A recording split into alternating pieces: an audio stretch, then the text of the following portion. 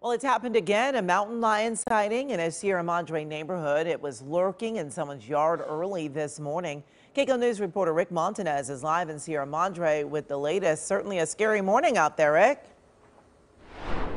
Yeah, Amy, you know, it is if you see this mountain lion right up close, and we've been showing neighbors the video.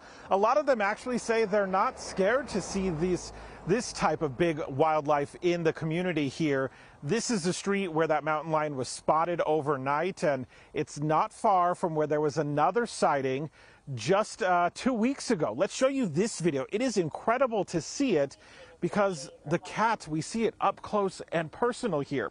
This was recorded just before 1 this morning. The mountain lion walking in front of a home near Foothill Avenue and Grandview here in Sierra Madre. Police tell us they didn't receive a lot of complaints about this, but after our assignment desk called this morning, they dispatched officers to check the area. Apparently they didn't find much, but we also have been talking with neighbors this morning. They say wildlife sightings, of course, are not uncommon. It is still interesting to see, though, and can be frightening if you see them up close and in person. And that's why neighbors say they know they have to be careful because they are living in wildlife territory.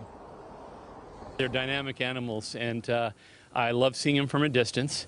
Uh, but when you, were, if you were to see one up close, that's a, a different uh, feeling. Is it scary to see that?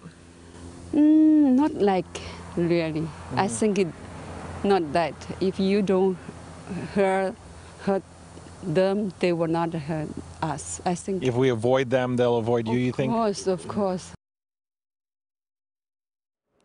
Are wondering if this is the same mountain lion like we said from two weeks ago, uh, this sighting here recorded by our KCAL News photographer, just seconds of the mountain lion as it walked alongside this car here. This was on Baldwin and Carter Avenues, less than two miles away.